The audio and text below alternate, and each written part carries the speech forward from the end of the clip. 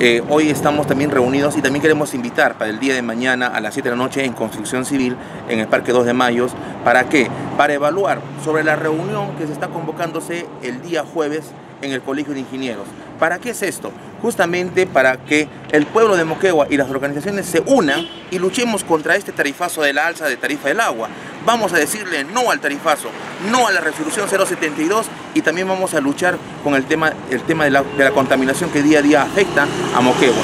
Amigo periodista y pueblo de Moquegua y todos los que me escuchan, por favor, mañana a 7 de la noche vamos a evaluar para asistir a esta reunión del día jueves, porque nos están pasando la voz que hoy simplemente quieren hacer un paro de 24 horas o una simple movilización, lo cual ya desde antemano le decimos a los organizadores o a los que quieran hoy día distorsionar la información, ya estamos cansados de movilizaciones o de paros de 24, 24 horas. El pueblo de Moquegua el 21 y el 22 ya hizo un paro de 48 horas y lo cual ahora vamos a adentrar a un paro indefinido para hacer retroceder a estos señores. Vamos a esperar su santa gana, ya estamos en cortes, los cortes comienzan a partir del 14 de abril, del 15 y 16 de abril. Vamos a esperar a que estos señores se pronuncien, manden documentos. Ya los documentos se han presentado ante el Poder Judicial, ante la Fiscalía.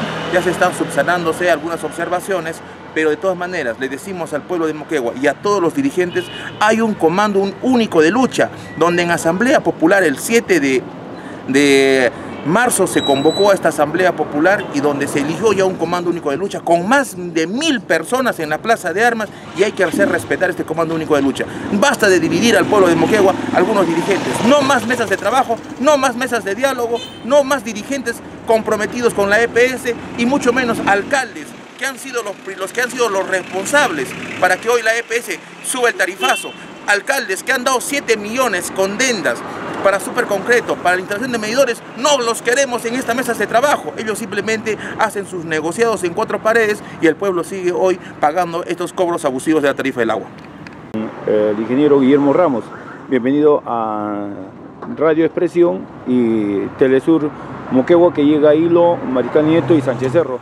Cuéntenos sobre esta situación. Ustedes han estado en la EPS para poder orientar a los ciudadanos eh, de esta suba que les han hecho los ciudadanos eh, por el uso de agua. Bienvenido a Telesur y Radio Expresión. Bien, ante todo tenga usted muy buen, buen día. Definitivamente hoy el Comando Único de Lucha está orientando a los ciudadanos de Moquegua sobre este tarifazo del agua. Cómo presentar justamente el reclamo de, contra estos recibos que hoy son pues un atentado contra la economía de muchos ciudadanos moqueguanos. Es por eso que acá nosotros estamos desde el día de ayer acompañando a los ciudadanos cómo deben presentar sus reclamos. Eh, el llenado justamente eh, del recibo a este reclamo donde los señores tienen que hacer pues eh, presente con su recibo original y que hacerse quedar una copia. De tal manera que la EPS, la administración de la EPS, tiene el compromiso de resolver en el plazo máximo de 15 días sobre este reclamo del tarifazo del agua. Es por eso que nosotros, amigos periodistas, estamos acá hasta el día 13 de abril estaremos dando pues la orientación adecuada para el reclamo. Pese que nos han dicho incluso que acá que somos unos tontos al, al que presentar un reclamo pese que estos señores que cuando apenas llegamos a la EPS nos cierran las puertas, nos maltratan, nos ponen guachimanes. Y acá cuando estos señores reclaman, los usuarios presentan en mesa de partes, le hacen sacar un ticket. Y cuando sacan un ticket demoran hasta 3-4 horas para que lo reciban simplemente en mesa de partes un documento.